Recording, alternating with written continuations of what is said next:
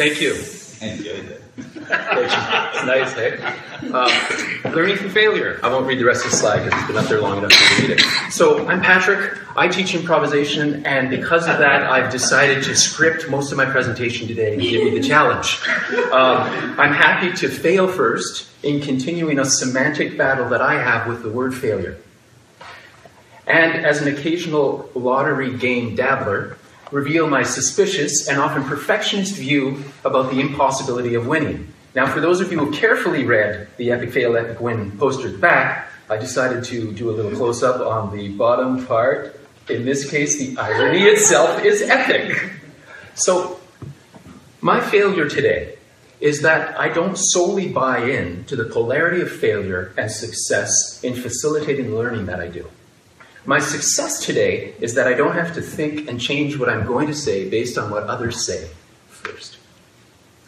Now, my objective overall is to go beyond conceptions of failure and zone in on prototyping as the central activity where I work with my colleague Larry at the Master of Digital Media program. It's a project based learning environment that affords. Oh, sorry, that's the, that was the first prototype. Uh, this is where I actually facilitate learning. Uh, it, no, that's the, sorry, that was the second iteration. Uh, this is actually what the building looks like where I work now, currently continuing an identity crisis. Uh, now, there's all manners of experiences expressed in many different ways here. When learners engage in prototyping, there are many observed results, and here are some of them messing up, failing, yes, small successes, throwing teammates under the bus, just happened today, hallelujah moments, over self critical states, as some have mentioned, big wins, mistake making, yeses, nos, and yes, the panic button. So, what is prototyping in the context of the learning environment where I teach? I consider it an iterative process of creating tangible artifacts as viable solutions to a problem, need, or challenge. Prototypes demonstrate a particular state of a project, a version of, incomplete, open for feedback, for review, refinement, and retrospective by the team, faculty, and the client partners who usually initiate a collaboration. As my colleague Bafia mentions in the room, what are we going to keep? What are we going to fix? What are we going to change when we prototype? Now, I'll mention Tom Chi of Google Glass fame, who has noted that no matter the environment, when you prototype, you create a culture of learning. That said, the role of prototyping is that it affords learners to fail often and learn from those failures.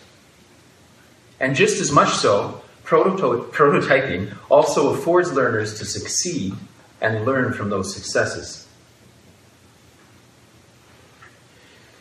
Prototyping in learning environments challenge notions of failure, as articulated by Tawfik and Jonassen, who argue that failure in education has been largely eschewed because learning outcomes were based on successful performance on well defined problems and solutions, which emphasize memorization, protocol, and procedure.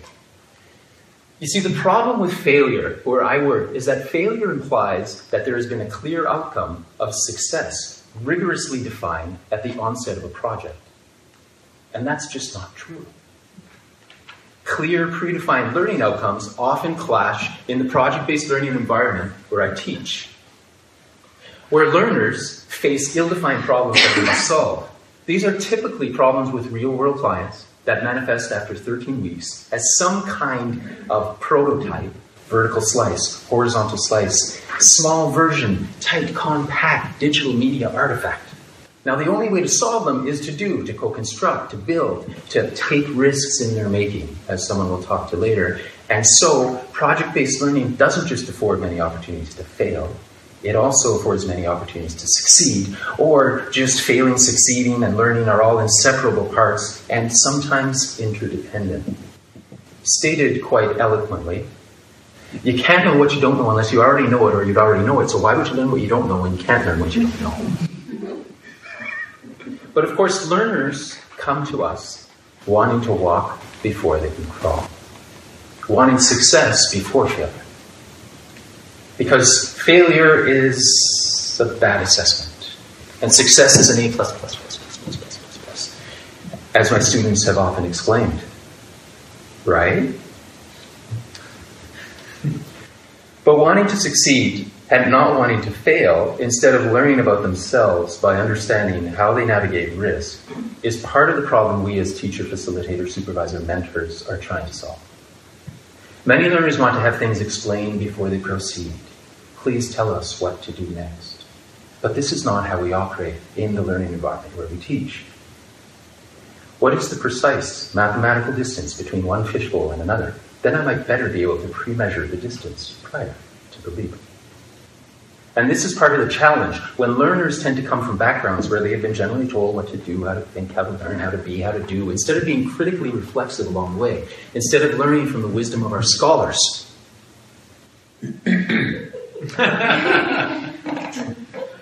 That's why we motivate learners to go beyond thinking of the polarity of failure and success into the design of a typical project based course.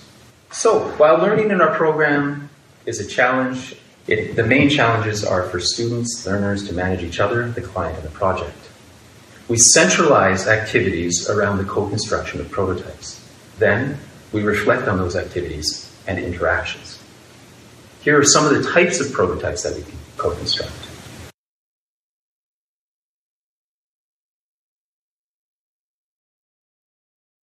To show you what the prototypes might look like, I'll give you some examples of an actual case study of a project with a Vancouver based indie video game developer. This is a whiteboard drawing of a battle mechanic for an iPad companion. Weeks later, after many paid for prototypes that were not well documented, and that's why they're not up there, uh, there are increasing levels of fidelity as time moves on. Transforming into simple physical prototypes that demonstrate how this particular musical game works then to digital on an iPad. Refined, user tested, reviewed, refined, reviewed, prototyped, tested, tested, tested, validated, validated, validated, all with the experience of a potential user or customer in mind. Until we get to a place we never could have imagined. It's not success. It's not failure. It's an improvement of our work. It's the development of our craft through a persistent combination of prototyping, testing, refining based on feedback, based on succeeding, based on failing, and everywhere in between. Of course, the missing ingredient, already discussed, is reflection. So while Tawfik and Jonassen would argue that reflection upon failure may be an important learning aspect when developing successful problem solving skills, I would equally argue that reflection upon success is just as important, because what is success to a learner might not be success to a client or to the faculty who have lots of industry experience. And so we refine our model, prototype.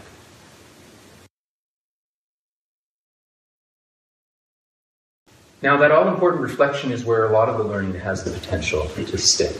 Not stick as in sticks that you've been talking about, to stick. So we facilitate reflection, we elicit what learners think, we let learners propose solution states, we draw from case stories or war stories, we assign accountability for change. So I leave you with a few assertions that have come from practice and research conducted in project based learning environments. It's not about whether learners' efforts were successful or not. It's about noticing and assessing their persistent efforts to push the boundaries of what is possible.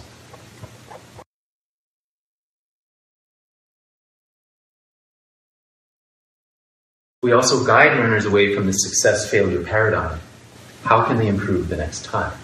Is what our focus is. We also propose reflection tools. A strength weakness chart is the easiest to think of. Some are familiar with SWOTs in business. Uh, sometimes we use this feedback grid, which was developed by Stanford's D School. So in this particular one, uh, what do you do well already? Try to read my small text. Or what do you need to keep working on? Uh, what questions might you have? And what new ideas have developed out of your particular success, failure, or whatever? So to review, Prototyping in project-based learning environments eliminates the habit of simply talking about success and failure as the only outcomes of learners' collaborative efforts. It shifts the discussion to developing the art of solving problems and improving on how we solve them.